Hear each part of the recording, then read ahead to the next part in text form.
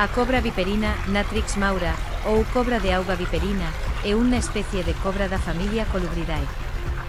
Debe o nome de cobra de auga á súa grande afinidade polas zonas húmidas e a súa grande habilidade de nadar e mergullarse, e o de viperina á súa semellanza coas víboras, malia ser inofensiva.